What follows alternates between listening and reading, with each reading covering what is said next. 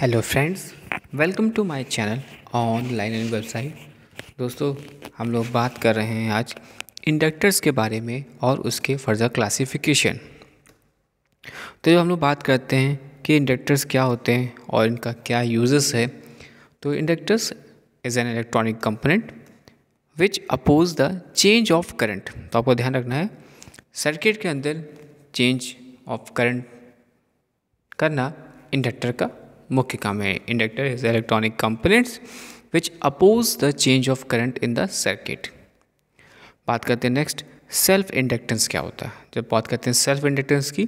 तो ये प्रॉपर्टी है। The property of a coil due to which oppose any increase और डिक्रीज ऑफ़ करंट या flux through it it is known as self inductance self inductance क्या है? The property of the coil due to which it oppose any increase या decrease of current or flux through it it is known as a self inductance self induction is sometimes analogously called electromagnetic या electrical inertia तो self induction को हम लोग sometime एनोलॉजियस हम बोलते हैं इसको, जैसे कि इलेक्ट्रोमैग्नेटिक या electrical inertia unit of inductance की एल इज़ हेनरी इंडक्टेंस को हम लोग रिप्रेजेंट करते हैं कैपिटल एल से और इसकी यूनिट जो होती है वो हेनरी होती है, जिसको हम लोग कैपिटल एस से डिनोट करते हैं। इंडक्टर के आगे बात करते हैं तो इंडक्टर जो होता है offers a high impedance to A C but very low impedance in D C यानी हाई इम्पिडेशन यानी जो मिल रहा है, वो ए सी मिलता है, जबकि वेरी लो इम्पिडेंस जो मिलता है, वो हमें डी सी मिलता है। आगे जब हम बात करते हैं तो in electronic circuit the usual function of an inductor is a block A C signal but to pass the DC signal या वोल्टेज क्लासिफिकेशन ऑफ़ इंडक्टर की बात करते हैं तो दो मुख्यतः क्लासिफिकेशन आता है, एक होता है फिक्स इंडक्टर एक होता है वेरिएबल इंडक्टर्स फिक्स इंडक्टर और वेरिएबल इंडक्टर बात करते हैं फिक्स इंडक्टर की. फिक्स इंडक्टर का आप डायग्राम दे सकते हैं this is the fix inductor और this is the variable inductor variable हमने यहाँ पे जो एक सिंबल एरो का ये यूज़ कर लेते हैं। This is the variable inductors next बात करेंगे filter chokes and radio frequency या आर एफ़ चोक की। इनका क्या फ़ंक्शन है, इसको हम लोग देखेंगे।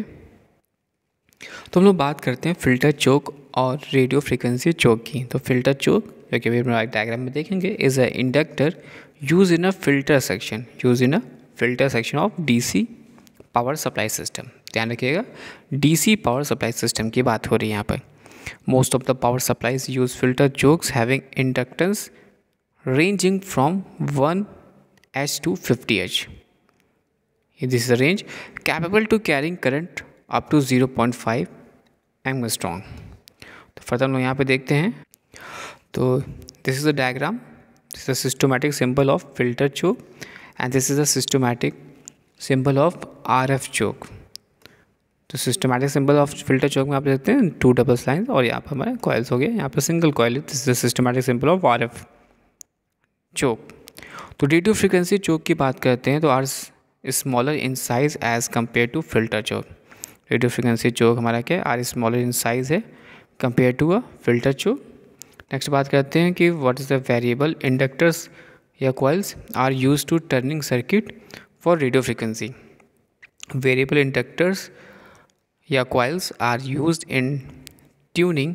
circuit for radio frequency. Next, transformer. A transformer is just similar in appearance to an inductor that is a filter choke. In electronic circuit, the transformer which are generally used are known as a power transformations,